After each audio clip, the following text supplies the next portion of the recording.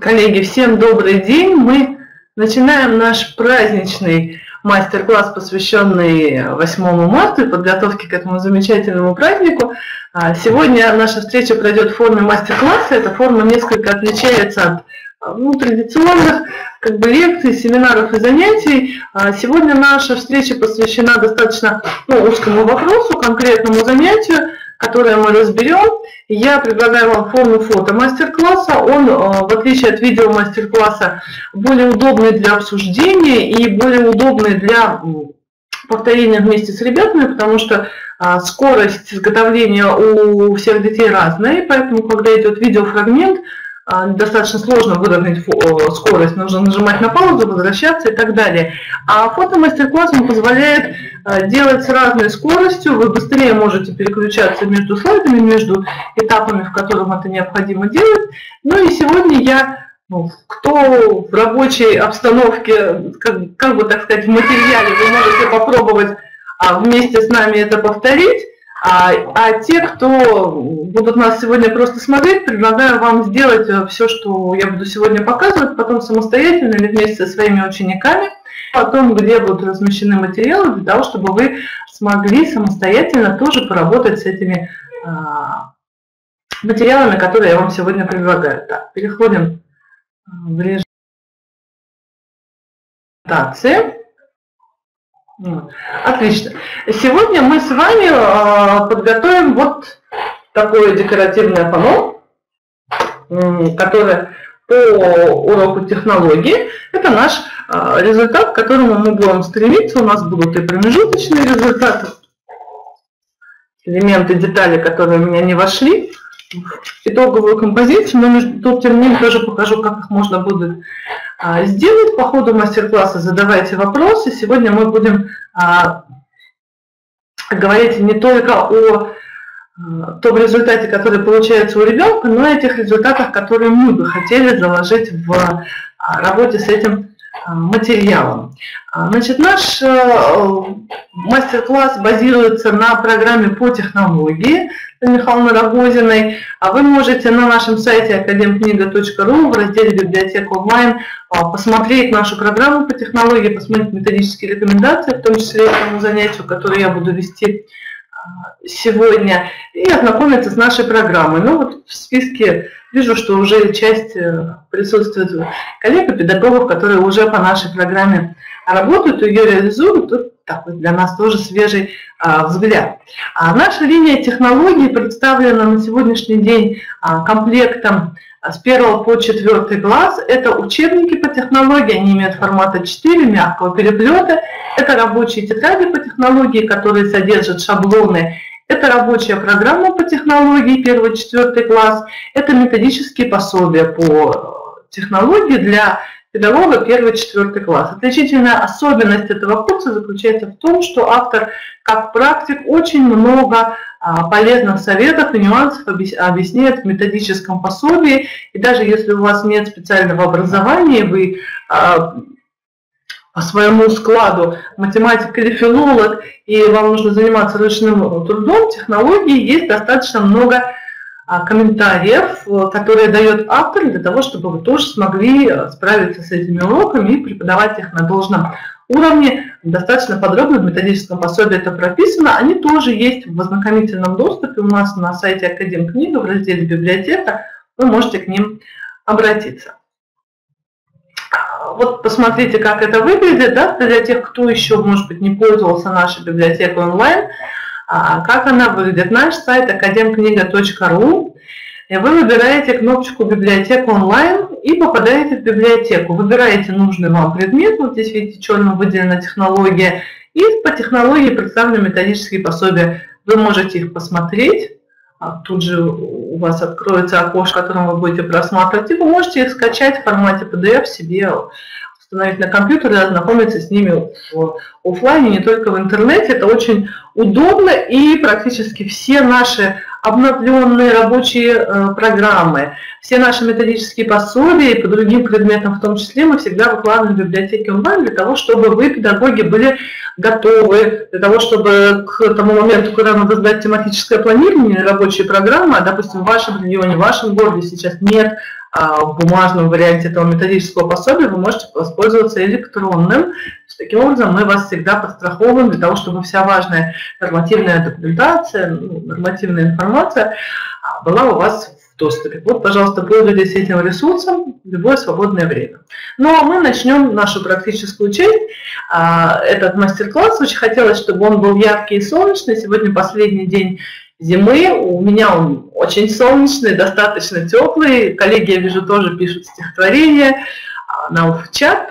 Вот поэтому уже весеннее настроение, конечно, хочется цвета, хочется цветов и хочется праздника. И не только нам, педагогам, но и детям в большом количестве. Конечно, а, этот приятный день, 8 марта, он является таким вестником, предвестником вообще лета, весны, и вот все, что накопилось ажиотаж цвета зимой, мы можем его выплеснуть и сейчас использовать. Для того, чтобы выполнить э, декоративное панно 8 марта, нам с вами понадобится цветная бумага и цветной картон, нам понадобятся ножницы, возможно, макетный нож, линейка, клей и, конечно же, учебник по технологии для третьего класса вот что мы используем. Но, возможно, вы не только на технологии третьего класса можете сделать эту тему, вы можете сделать эту тему в качестве внеурочной деятельности и дополнительно, если вам нужно 8 марта сделать подарки для мам и так далее. Итак, э, тему декоративное панно мы начинаем, конечно же, знакомство с учебником. Сейчас, одну секундочку, мы с вами перейдем в э, электронный вариант учебника которые тоже у нас присутствуют. И сейчас, конечно, очень а, приятно, что все наши учебники, они стали не только а, бумажными, они стали в том числе и электронными, и мы можем а, с электронным учебником тоже работать, использовать его и на, как наглядность, использовать его для фронтальной работы на доске, мы можем использовать его индивидуально. В общем, появляется достаточно большое количество вариантов того, как мы можем использовать сегодня электронный учебник. Сейчас одну секундочку перейду в режим демонстрации, чтобы вы видели то же самое, что находится у меня на рабочем столе. Пока загружается, я напомню, что наши а, электронные учебники, которые есть сейчас по всем предметам, и наши электронные а, интерактивные пособия, они у них более, более расширены, чем электронные учебники, вы сейчас сегодня можете а, приобрести как ту и ту форму. Можно это сделать на, через наш сайт и пройти на наш сайт, посвященный электронным учебникам. Вот тот вид электронного учебника, который вы получаете. Вот сейчас на экране вы видите, это электронный учебник по технологии для третьего класса. Он полностью повторяет, естественно, содержание бумажного учебника, так как это один и тот же учебник, что позволяет сделать. Тут, допустим, в учебнике а, искомый, ну как бы итоговый образец, ну, небольшой по размеру, он позволяет нам увеличивать все картинки и более а, детально посмотреть. Это, конечно, актуально для таких предметов, как изобразительное искусство и технологии, для того, чтобы мы в крупном варианте смогли увидеть еще и некоторые детали, посмотреть фрагменты, как это точно сделано, то, чего не видно в маленьком формате. Также, а, работая по электронному учебнику, нам становится более удобно работать со словарем, потому что при необходимом а, нажиме тут же появляется а, словарь, это для нас очень важно. Если здесь мы просим посмотреть значение слов в словаре, мы можем это моментально, интерактивно тут же сделать. Значит, вот мы с вами открываем учебник, тема декоративное панно. А, нам необходимо готовить декоративное панно, так называемый планшет, хотя дети, конечно, сейчас под словом планшет понимают несколько иное, но в данном случае мы воспринимаем слово планшет, а, если мы обратимся к словарю, так это плоская сумка для листов бумаги или картона, но это некая плоская поверхность, он может быть деревянный планшет, ну, бумажный, географический планшет и так далее. Итак, нам с вами предстоит сделать планшет, который нам необходимо будет оклеить кантом со всех сторон. И это э, первая часть нашей работы будет подготовка э, картона и подготовка канта. Вторая часть нашей работы, мы смотрим по учебнику, это оклеить э, картон кантом. Есть мы тоже смотрим значение слова обклеить или оклеить, как мы это будем делать.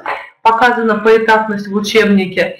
И а, нам нужно будет, в итоге мы получим картон, который полностью оклеен кантом. Это будет задание для первого урока, эта тема осуществляется в течение двух уроков. Это будет а, первый урок. На втором уроке мы будем уже украшать наше декоративное панно. Нам нужно будет сделать листья. Вот а, также для нас интересно, что у нас есть а, в электронном учебнике раздел «Проверь себя». И мы с вами тоже можем в конце потом посмотреть. То есть некое тестовое задание мы можем получить обратную связь от учащихся. Вот. И на втором уроке нам нужно будет сделать листья и нужно будет сделать цветы для нашей итоговой композиции. Вот из двух частей состоит тема. В процессе есть промежуточный а, момент промежуточного аттестации, промежуточной обратной связи, которой мы будем работать.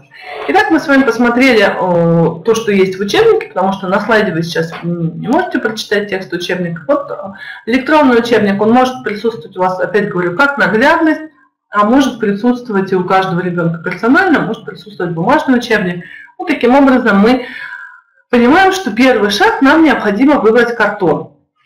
А когда мы говорим о предмете технологии, то, а, больш... то это практика-ориентированный предмет, а, большая часть задач, которые связаны с тем, чтобы мы познакомились с видами бумаги, с видами различных материалов, со способами обработки этих материалов, с культурой подачи и так далее.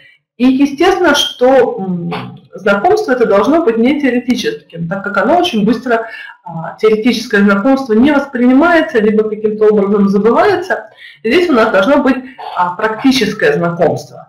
Но для детей это сделано в форме этой поделки, которую они обязательно делают, и ребенок воспринимает результат своего занятия как поделку, которая будет ими сделана. А мы с вами должны понимать, что это, а, тут, в данном да, оно, это результат ребенка. И то не весь. А наш с вами результат, он шире, наш с вами результат, это, естественно, знакомство ребенка с материалами, приобретение навыков, э, ручных навыков, действия. И не всегда то, что предложено в учебнике, задумано, оно у ребенка э, великолепно получится. Будет сделано, особенно в рамках одного учебного урока, но здесь э, не нужно очень сосредотачиваться на эстетической стороне этого предмета, а, и нужно оставлять то технологическое содержание, которое здесь э, есть. Если нам порой кажется, что это будет сложно для детей, а такие моменты действительно бывают, нужно а, помнить о том, что именно эта сложность обеспечивает их а, развитие. Потому что если мы сравним раньше, допустим, да, детей советского периода и э, уроки технологии изобразительного искусства, то дети а, имели намного больше практических навыков, например, в пришить себе пуговицу, например, завязывать шнурки и так далее. сегодня у нас в первом классе э, мы можем встретить детей, у которых нет навыков самообслуживания, они не смогут а, распороть или пришить. Помните, мы да, школьную форму манжеты отпарывали и пришивали каждую неделю себе на платье и так далее, делали это самостоятельно, без мамы, ну, конечно, сегодняшний ребенок этого не сделает. Поэтому, а, с одной стороны, программа по технологии, она идет на упрощение, но если мы совсем исключим эти задания, то мы потеряем суть предмета. А, это я к тому, что если у детей не получается сейчас, и нам, педагогам, кажется, что это занятие сложное, нужно все равно его делать для того, чтобы ребенок получил представление. И если ребенок получает представление о том, что ручной труд это сложно, это тоже очень хорошо. Он, по крайней мере, будет его ценить, ручной труд. Итак, нам необходимо с вами выбрать лист картона. Какой лист выбрать? Значит, у нас, скорее всего, у детей в наборах сейчас бывает лист картона глянцевый и матовый. Давайте с вами подумаем, какой выберем, Картон глянцевый или матовый?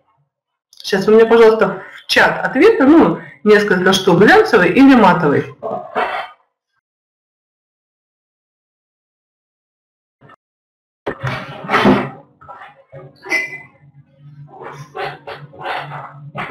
Угу. Так, коллеги, несколько вариантов в чат.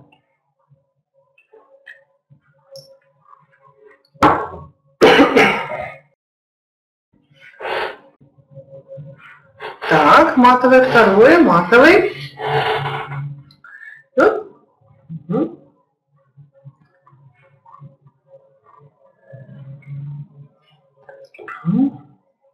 Матовый и глянцевый. Глянцевый э, очень любим детьми. Он, конечно, выглядит намного эффектнее, чем матовый. Но матовый лучше клеится лучше. Вот спасибо педагоге практики. Действительно, э, матовый картон, он лучше впитывает клей. По глянцевому картону зависит, конечно, от производителя. У нас иногда может просто как бы, поплыть то изображение, которое у нас есть. Да, и мы смотрим, что если у нас достаточно много деталей крепится на картон, то значит нам нужно будет клеить. На глянцевом картоне, как правило, детали хорошо приклеиваются под прессом. Если есть такая возможность, поскольку у нас детали объемные, мы их делаем в течение занятия, то мы пресс не сможем сделать. И, к сожалению, бывает такой момент, когда на глянцевом картоне сделают, да, дети поделку, а он на клее ПВА начинает ну, как бы соскальзывать, немножко уплывать от нас, и пятна остаются от пальцев. Это действительно правда. Поэтому если дети выбирают картон, покупают, то для детского творчества нам лучше подойдет матовый картон. Глянцевый картон, он, он лучше подходит для оформления. Если нам нужно что-то наклеить, вот вырезать какую-то одну фигурку, вот мы из него вырезали фигурку по контуру, вот она уже закончена. Если мы на нее ничего не будем клеить, то вполне дойдет для этого глянцевый. Если картон используется как основа, то мы лучше возьмем матовый. Итак, мы с вами берем матовый картон. Теперь давайте мы будем думать о а, цвете, который мы возьмем. Поскольку это фон, то этот цвет должен быть а, не очень ярким, для того, чтобы на нем хорошо смотрелись цветы. Ну, вот, например, если мы возьмем с вами желтый фон, то трудно представить, какие цветы будут хорошо смотреться на желтом фоне. Белые, а, они будут сливаться с желтым фоном, красный это будет слишком перенасыщенно ярко, да, вот пишет, пишет Мария, нам нужен контрастный фон, черный. Контрастный, но, допустим, черный, да, будет немного мрачновато все-таки маме на 8 марта. Черный картон для нас будет мрачноватый. Если мы возьмем зеленый картон, на нем нам будет достаточно сложно сделать листья и так далее.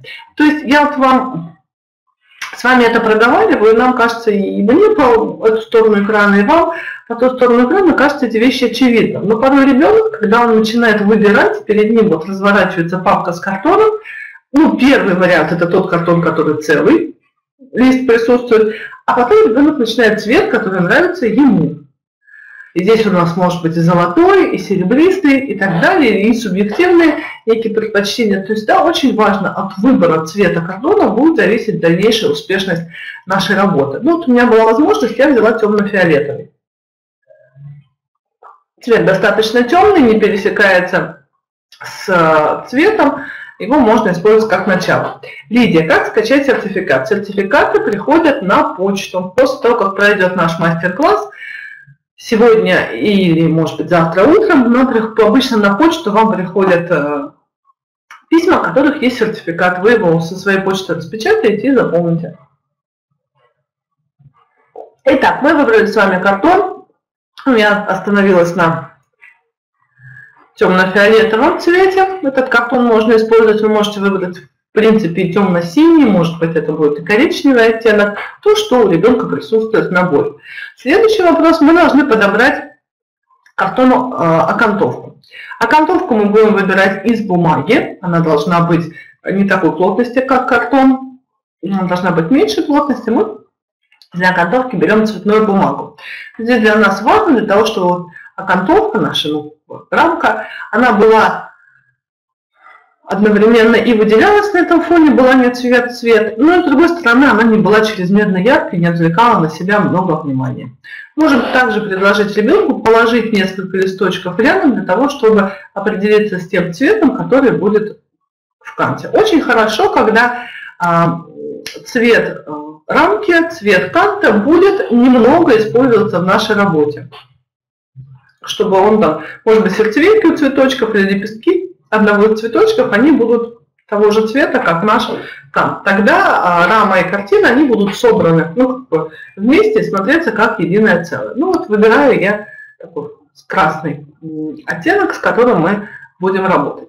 Затем мы приступаем к этапу разметки. А, значит, возвращаемся к учебнику, и здесь мы видим, что у нас есть размеры. А технология – это тот предмет, на котором мы работаем с размерами, чертежами, на которых ребенок знакомится с разницей между эскизом, чертежом, поэтапностью, инструкциями. Вот здесь мы а, читаем размер, у нас размер стоит 30. Тоже мы с детьми начинаем говорить да, о том, что означает этот размер, будет ли это 30 сантиметров или 30 миллиметров. Но методом исключения, конечно, мы придем к тому, что это 30 миллиметров, даже если дети не знают правила того, что чаще всего проставляются на чертежах размеров миллиметров, Здесь они методом исключения мы даже можем с вами подумать, что 30 сантиметров это будет очень большой кап. Ну вот, таким образом мы на нашей бумаге откладываем, нам необходимо 4 полоски шириной 30 миллиметров. Значит, для этого мы с обеих сторон листа делаем засечки. Вот посмотрите, на верхнем рисунке видно, как мы по линейке ставим эту засечку. И то же самое можно сделать на втором а, краю нашего листочка. Мы знаем, что через две точки может пройти только одна прямая. Мы их соединяем мы получаем ровные прямые. Здесь, а, когда мы отмеряем, не стоит а, рассчитывать на а, перпендикулярность, то есть поставили одну точку и прикладываем, допустим, перпендикуляр, его может повести. Поэтому лучше поставить точку на одном конце листа, поставить точку на другом конце листа и их соединять прямой. Расчерчиваем наши прямые, у нас получается 4 а, полоски. Нам нужно будет две полоски длинные, которые пойдут по длинной стороне, и две полоски, которые пойдут по короткой. Но по своей практике советую сначала вырезать, вырезать 4 длинных полоски. Ребенку а, на месте определять длину будет проще, чем определять ее методом измерения. Если ребенок померяет короткую сторону в миллиметрах, потом перенесет этот размер, где-то в середине он отвлечется, с кем-то поговорит, его немножко забудет, не так обрежет. Это удлиняет процесс, и э, как бы ребенку, все-таки ребенок идет от результата, который он получит, поэтому ему иногда проще сориентироваться на месте, и автор учебника тоже нас к этому призывает, что самый простой способ определить длину нужных нам полосок – это их приложить. Итак, у нас есть четыре полоски – и мы их прикладываем, вот посмотрите, верхнюю мы прикладываем по длине и по ширине, и затем уже на месте их обрезаем. Можно сделать засечку, также карандашиком, и затем обрезать полоски по той длине, которая нам необходима. Длины должны полностью совпадать. Следующий шаг мы начинаем, э, кант будет у нас двухсторонний, он обрамляет картон с обеих сторон, поэтому нам нужно наши полосочки согнуть. На самом деле согнуть тонкую полоску – это достаточно сложная задача. Почему урок разбит на две части? Потому что работа с окантовкой, она не так быстро, как нам бы хотелось, происходит. Для того, чтобы согнуть такую полоску, нужно быть а, внимательным.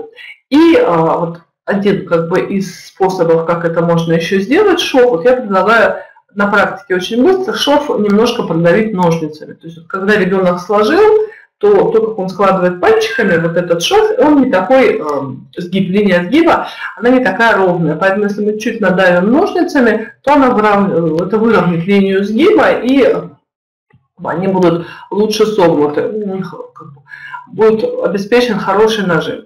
Вот таким образом мы сгибаем все наши полосочки. Теперь получается, что их реальная ширина на картине уже будет не 30, а 15 миллиметров также их прикладываем, мы а, готовы дальше. Значит, затем автор предлагает, мы будем длинные полосочки наклеивать так, как они есть, а короткие полоски мы немножко подрежем под углом для того, чтобы визуально казалось, что у нас э, кант идет в стык под углом 45 градусов. Для того, чтобы отмерить угол 45 градусов, мы загибаем а, края, как у самолетика. Вот, внутрь загибаем, и затем а, по этой линии изгиба мы обрезаем. И таким образом у нас короткие а, наши полосочки, вот посмотрите на фотографии, да, они становятся с определенным углом. Теперь мы готовы к тому, чтобы начать клеить. Мы начинаем клеить с лицевой стороны, мы наносим клей от центра краям и затем прикладываем нашу полосочку бумагой. Бумагу мы тряпочкой выравниваем для того, чтобы клей у нас не попал на руки на саму работу. Клей ПВА, он при высыхании становится прозрачным, его практически не видно, но тем не менее тоже нужно следить за количеством. Затем мы приклеиваем кант к тыльной стороне. Посмотрите, и у нас мы справились одну полосочку. Когда мы на уроке делаем объяснение, то первую полосочку мы объясняем достаточно подробно, как приклеить, но затем, естественно, что по аналогии э, мы будем приклеивать все остальные полосочки. Мы начинаем с верхней и с нижней, используем кисточку, наносим клей. От центра сначала в одну сторону, потом от центра наносим ее в другую сторону. И затем приступаем к наклеиванию боковых деталей. После того, как мы наклеили, посмотрите на верхнюю картинку, пока мы клеили а, по, значит, мы клеили бумагу вдоль по широкой стороне, у нас приклеивалось достаточно хорошо и ровно. Когда мы наклеили с вами поперечные полосочки, поперечный кант, видите, у нас появились складочки. Вот в этот момент на уроке мы говорим о том, что бумага имеет плетение, в бумаге находятся продольные и поперечные полоски, когда мы осуществляем стык по продольной стороне, они более эластичны, они хорошо растягиваются, а когда мы мочим поперечные, то они хуже растягиваются и образуются вот как бы складки, они более склонны к деформации. Вот таким образом мы на примере одного листа с вами хорошо сейчас указкой сделаю. Да, вот мы видим, что у нас вот на продольных достаточно хорошо получилось, а вот на поперечном у нас появились такие неровности и шероховатости. Изучаем строение бумаги. Ну и в данном случае, а, поскольку на этом у нас первый урок заканчивается, мы можем, а, если есть такая возможность, то поместить наш планшет, оклеенный кантом, под пресс. Прессом могут выступать цветная бумага, могут выступать учебники. Нам необходимо что-то тяжелое, можно первым положить, вот посмотрите, а, пластиковый да, файл для того, чтобы, если там излишки клея будут, для того, чтобы не приклеилось, и затем уже положить эту стопку для того, чтобы к следующему занятию наше панно выровнялось, и мы могли а, продолжать занятие. На этом мы закончили первую часть, и вот в этот момент мы можем а, с вами перейти к... Давайте мы тоже перейдем к той работе обратной связи, которую предлагает нам электронный учебник.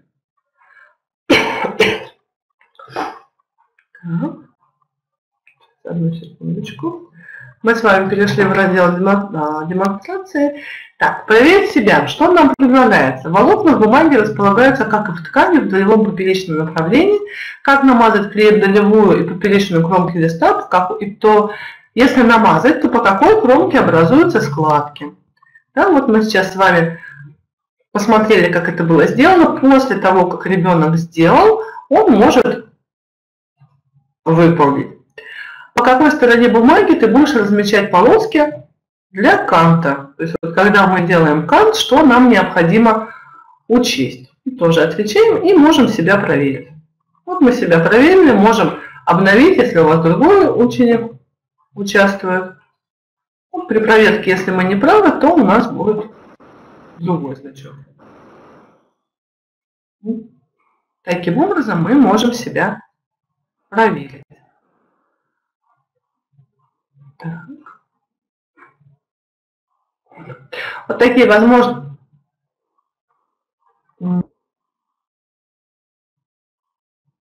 Так, уважаемые коллеги, ну вот сейчас на демонстрации, да, видимо, у нас? У меня все, все в порядке. Вот таким образом мы можем а, в электронном учебнике делать автопроверку.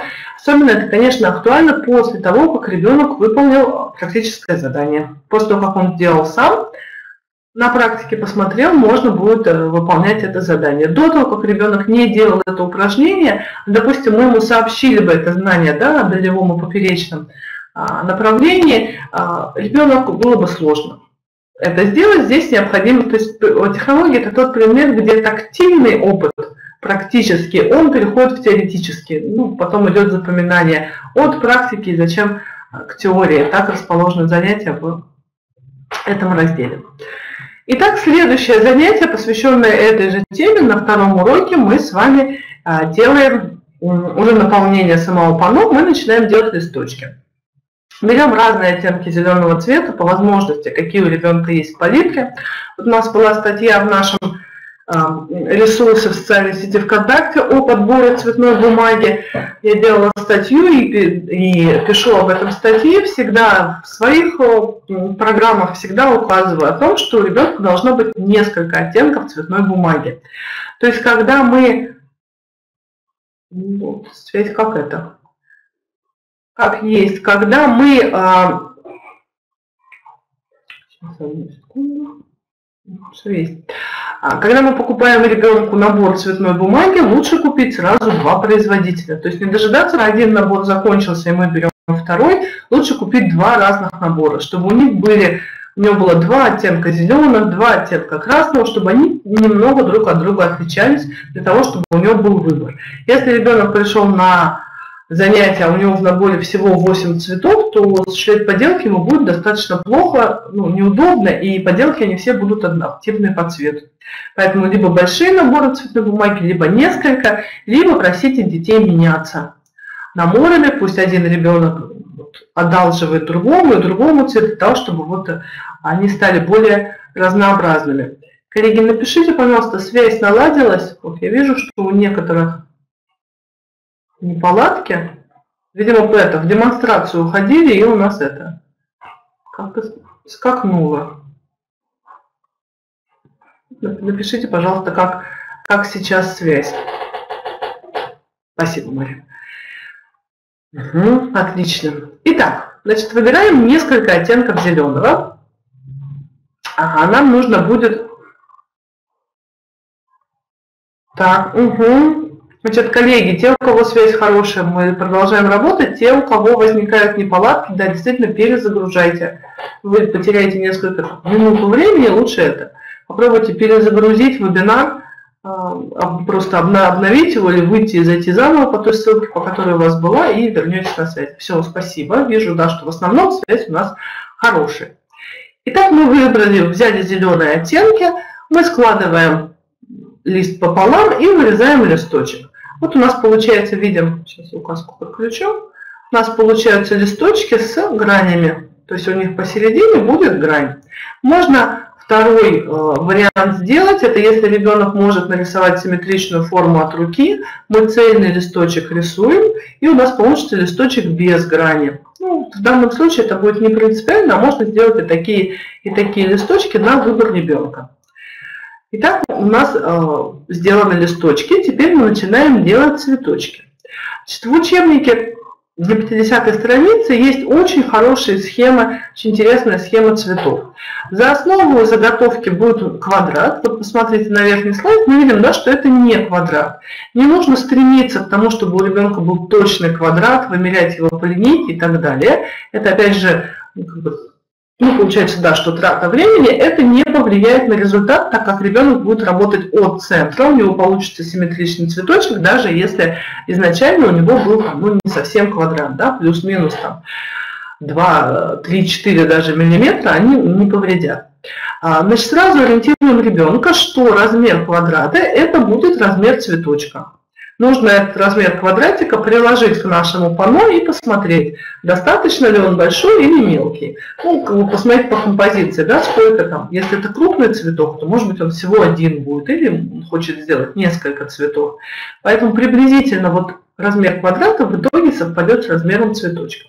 Затем мы складываем квадрат, как показано на рисунке, пополам и еще пополам. И намечаем, проводим диагональ, и от диагонали мы намечаем цветочек. Очень важно у нас место, что с одной стороны у нас цветочек заканчивается ну, как бы острием лепесточек, а с другой стороны мы не прорезаем, у нас здесь останется зона, которую мы не трогаем, чтобы все цветочки они были соединены между собой. Таким образом, один раз, один раз мы вырезаем, мы получаем такой четырехлистничек, который имеет общий неразделимый центр. Затем я предлагаю поменять оттенки бумаги, взять оранжевую бумагу чуть посветлее, может быть, чуть пожелтее, а, можно чуть-чуть поменять размер и вырезать еще э, несколько лепесточков, которые будут накладываться сверху.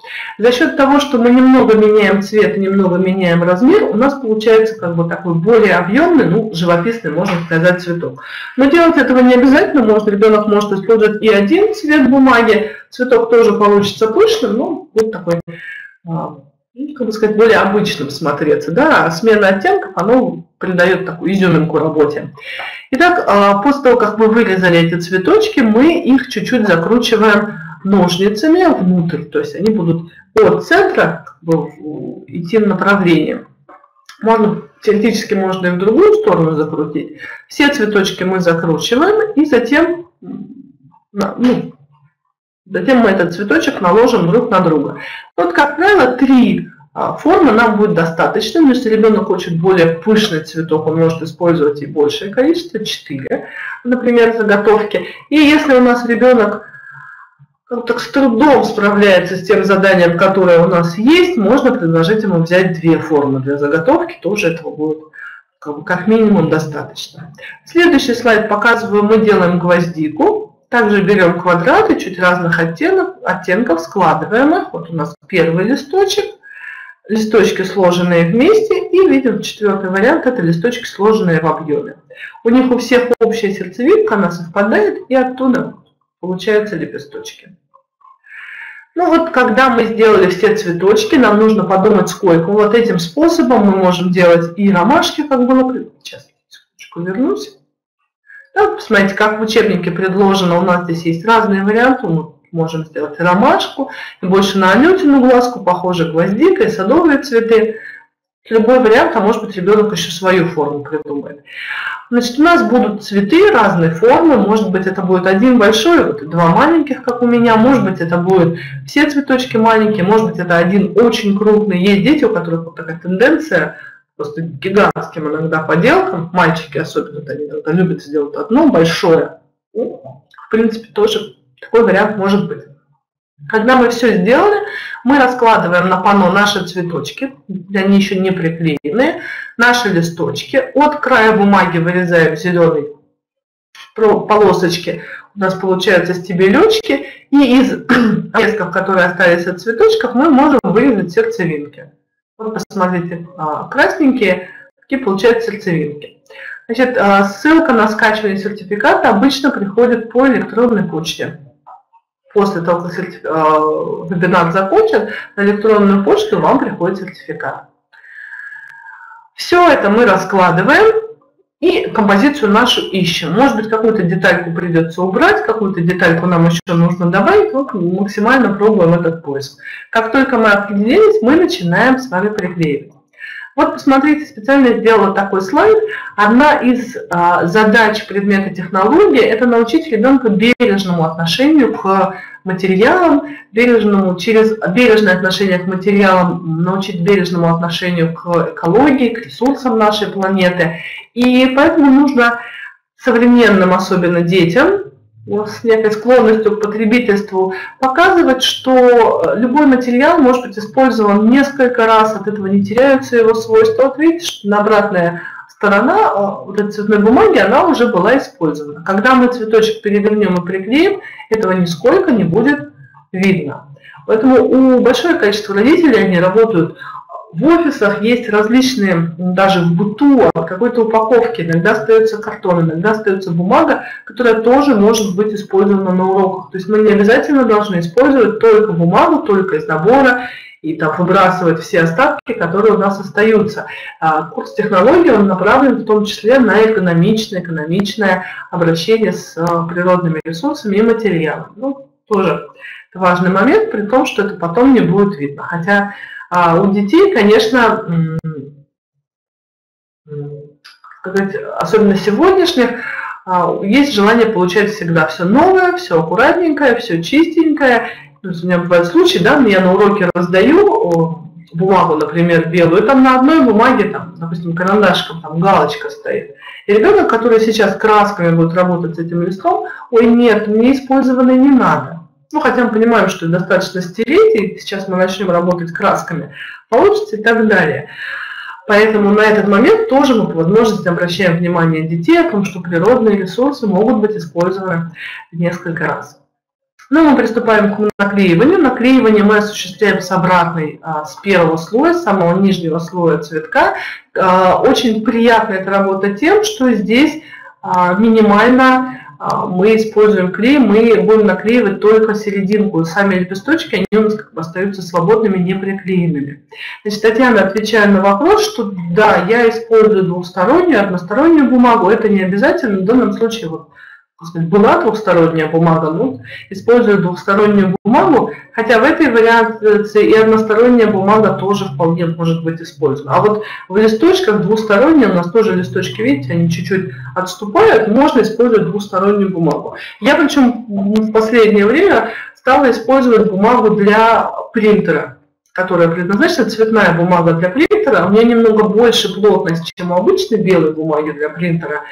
А, и вот эта плотность, она мне очень нравится для детских поделок, она а, двусторонняя, более плотная относительно детской э, бумаги для детского творчества. А, она хорошо сгибается, то есть и как бы конструкцию, если нужно какую-то конструктивную, допустим, объемную поделку сделать, она держит плотность. И в легких поделках ее тоже можно использовать, потому что иногда детская бумага для творчества цветная, которая с одной стороны цветная, с другой стороны белая, или такого серого цвета, ну, ограниченный диапазон, она еще как бы рвется достаточно много. А вот такая офисная цветная бумага, многие родители детям ее отдают в школу. Там ограниченные оттенки, они достаточно светлые, вот желтые, оранжевые, розоватые, зеленоватые, нет темных оттенков, но иногда, да, я в том числе ее использую. В принципе, я, я лично использую очень большое количество бумаги а, вот, из самых разных источников, но и максимально к этому тоже детей приучаю, к тому, чтобы у них тоже бумага была совершенно разная, потому что никогда не знаешь, вот где-то маленький кусочек иногда может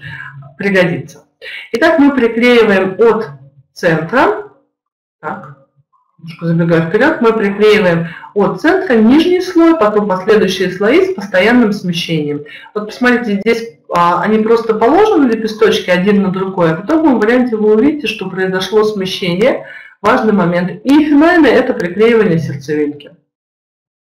Затем, когда приклеены цветы, мы как бы под них уведем вот эти веточки, Хотя можно было с веточек начать, но ребенку трудно начинать со стебельков, ребенку проще начинать с самого большого крупного объекта.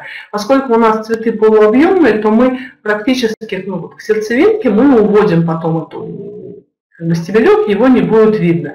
И потом приклеим листочки. А, в учебнике этого варианта не было, здесь я добавляю от себя, то есть мне захотелось к этому декоративному панно добавить еще и как бы, подставку, на которой она будет держаться. Я взяла полоску черного картона плотного и а, его согнула так, чтобы у него образовались как бы две грани, вот треугольничек, и два захлеста, на которые он крепится. Таким образом, это панно, оно теперь может ну, самостоятельно стоять, у мамы на столе, например, можно маме подарить в офис, можно маме на работу подарить это панно для того, чтобы оно у нее стояло на рабочем столе, например. И вот тот результат, который мы с вами получили. Здесь пока положила панно. Давайте посмотрим. Вот наш большой цветок, он основа композиции. Все три слоя, они не находят друг на друга, то есть не совпадают по осям, они выходят, за счет этого получается объем и сердцевинка. Маленькие цветочки, вот один цветочек я сделала полностью в одном цвете, и вот цветок, в котором мы меняем цвета. Потом под них вывела стебельки, и а, в итоге листочки, как бы как такая грядочка получилась, что они все растут с грядочки а, с одного места. Вот посмотрите выше, а, получился у нас ромашка. Здесь использовано три слоя сердцевинка, и вот выше у нас получилась гвоздичка, тоже гвоздичка с сердцевинкой, это варианты, которые делали. А можно было, то есть ребенок в учебнике у нас дана композиция полностью из ромашек, можно ее сделать из гвоздик, здесь ребенок по своему выбору это сделает. И в учебнике я мы даем горизонтальную трактовку, но, пожалуйста, можно ее и поменять местами, можно сделать, в принципе, вертикальную постановку с вертикальной а, подставочкой. Вот такое декоративное панно у нас получилось для мамы. У нас с вами в теме мастер-класса была заявлена открытка. Но мы с вами понимаем, как эту открытку мы можем, в принципе, при желании сделать. Да, мы можем вот взять вторую часть этого урока, саму технологию изготовления цветочков и украсить э, начало открытки, обложку открытки этими цветочками. Мы можем использовать э, текст по окантовке. Вот действительно вот, да, подставка получилась оригинальная, самое главное, подставка получилась действительно практичная, потому что порой ребенок приносит поделку и возникает вопрос, а да, спасибо, и что? То есть тех родителей, которые это оформляют в рамы, сразу быстренько сверлят в стене дырочку и в рамку в стекле вешают детские работы, я мало встречала. Встречала, но мало. А родители, которые иголочками прикрепляют к обоям детские работы, да, бывает, то тоже не сразу. Поэтому вот э, когда ребенок приносит вот свою поделку, то большой вопрос, а куда? Что ей сделать? А здесь мы снабдили ее подставкой и получился вот некий конструктив. Ну, коллеги, мы с вами еще не прощаемся. Мы с вами посмотрели а, то пособие, которое можно, а, вот, то изделие, которое можно сделать. Значит, если вам понравился этот урок, вы хотите его сделать вместе с детьми, то вы можете те фотографии, которые я сегодня использовала, скачать и использовать их самостоятельно. Не можно не только вот та презентация, которая идет, она для взрослых, а вы можете отдельно показать эти фотографии, возвращаться к ним несколько раз. Э, я в нашей группе ВКонтакте, сейчас покажу на нее ссылку, сделаю фотоальбом, посвященный этому мастер-классу, откуда вы можете э, потом взять все эти фотографии и их использовать как наглядность на своем уроке, как поэтапность, или самостоятельно еще раз по этим фотографиям пройти и сделать. То есть не только презентация, но и сами фотографии, они тоже будут а, в свободном доступе. Мы сегодня говорили о предмете технология для тех, кто еще не знает, а, хотя с нами многие уже работают, и вот по списку, по фамилиям вижу тех, кто по моей программе работает. У нас есть программа внеурочной деятельности, художественной эстетической направленности, а, программа по технологии «Город мастеров». Она достаточно давно у нас живет в виде а, программы, и вот э, совсем недавно, буквально в прошлом учебном году, у нас появилась Теперь тетрадь для внеурочной деятельности, тетрадь по технологии для первого сейчас уже выходит, и тетрадь по технологии для второго класса. То есть теперь мы можем с вами по внеурочной деятельности заниматься по технологии с использованием тетрадей.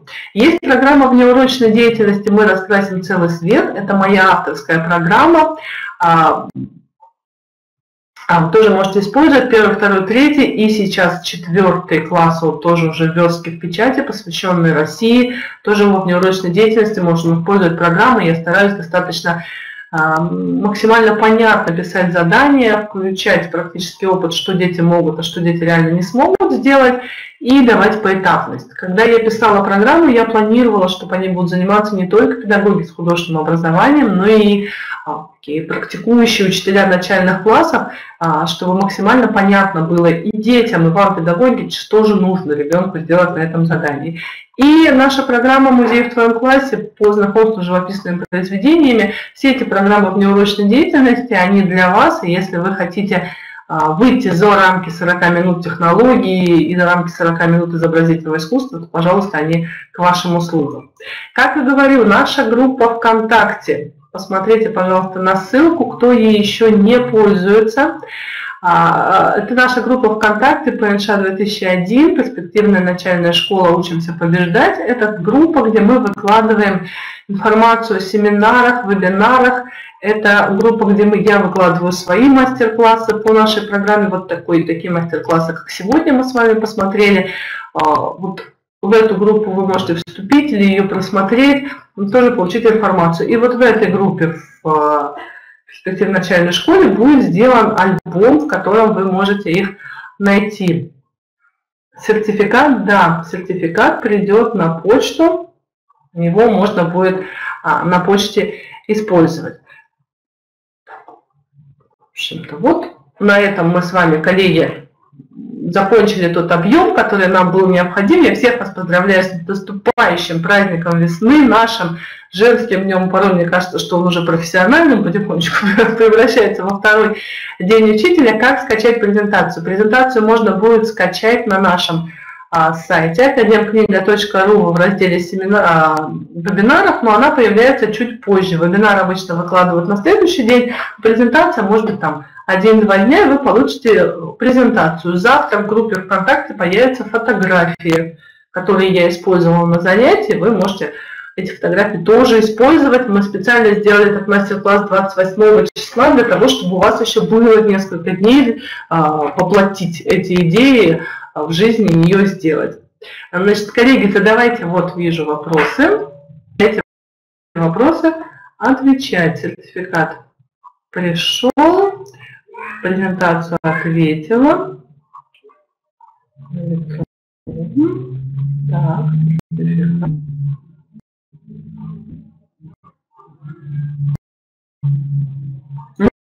Вопросы в основном, да, ну, клиента.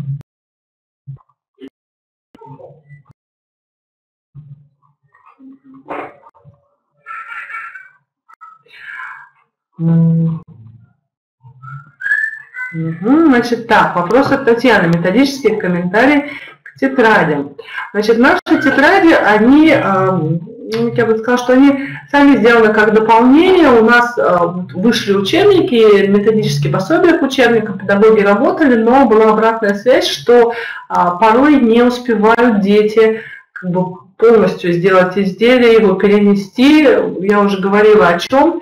А почему? Это связано с падением вообще общебытовых навыков, то есть моторика детей хуже развита. И поэтому мы а, сделали тетради, автор сделал тетради, которые, а, по сути, они являются как бы шаблонами к занятиям. И там в тетради всегда есть номер занятия, к которому дается этот шаблон. Поэтому тетрадь, она станет хорошим дополнением, она действительно ускоряет работу, потому что у ребенка уже есть как бы исходная часть, с которой он работает, и уроки стали проходить как бы, ну, нет, уроки не стали проходить быстрее, они так идут, а положенное им время, но дети стали успевать больше, и результаты стали ну, как бы виднее для ребенка, больше работ стало законченных с использованием тетради, поэтому э, тетрадь по технологии в плане использования достаточно простая, потому что у вас не должно возникнуть проблем или возникать.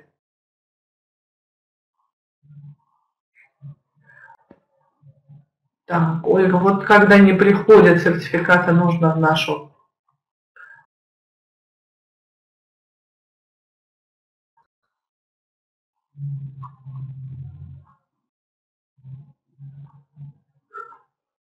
А, здесь коллеги, нет. Здесь.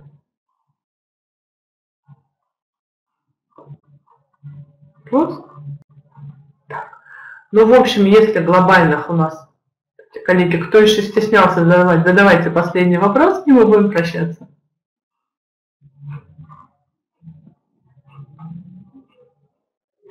Вот, кстати, коллеги, по поводу, да, вот Ольга написала, что делали этот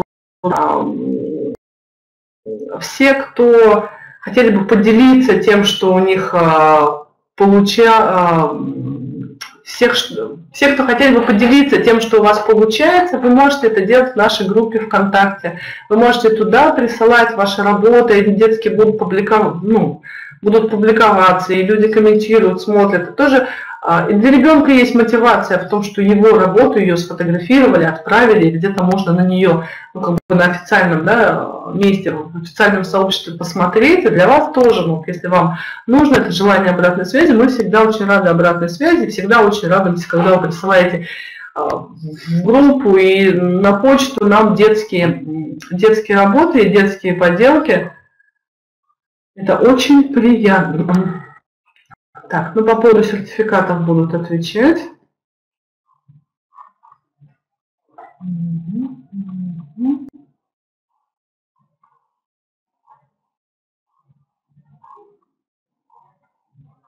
Так, все, коллеги, по поводу связи технической поддержки будет аппликатор. Вот.